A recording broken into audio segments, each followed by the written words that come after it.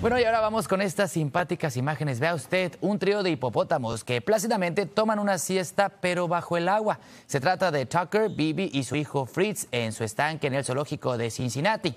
Fritz nació en agosto de 2022 y es el medio hermano menor de Fiona, la hija de 7 años de Bibi, quien en el 2017 se convirtió en el primer hipopótamo nacido en el zoológico en 75 años.